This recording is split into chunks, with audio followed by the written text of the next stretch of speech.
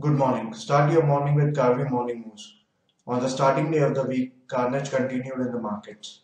Nifty ended at lowest level since June 2014 with a loss of 86.80 points or 1.17% at 7351 after posting a fresh 52-week low of 7336.40.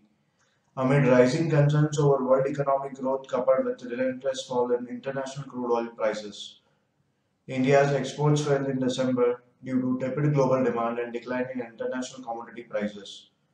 The decline in the oil prices in the international market has put pressure on the energy stocks. Going ahead, all eyes are on the Q4 GDP numbers of China slated for today, and also index heavyweight Reliance Industry will announce quarterly results post market hours.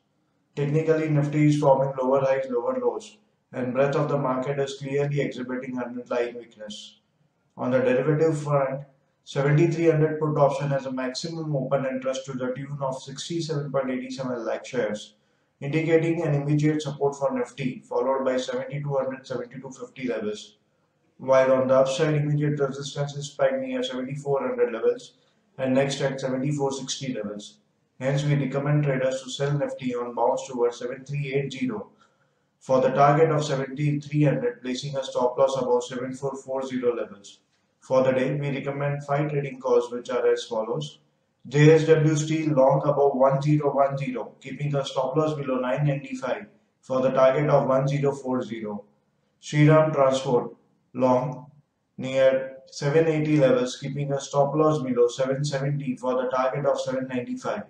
Ashok Leyland sell below 81.50, uh, keeping a stop loss above 83 for the target of 78. Bank of India sell below 90 rupees, keeping a stop loss about 92 for the target of 87. CSE sell below 440, keeping a stop loss about 450 for the target of 425. Thank you.